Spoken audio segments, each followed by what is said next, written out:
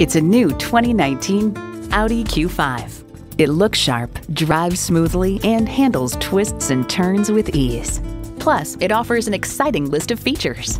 Intercooled turbo inline four-cylinder engine, gas pressurized shocks, integrated navigation system with voice activation, doors and push-button start proximity key, front heated leather bucket seats, configurable instrument gauges, streaming audio, auto dimming mirrors, dual zone climate control, auto dimming rear view mirror, and power heated mirrors.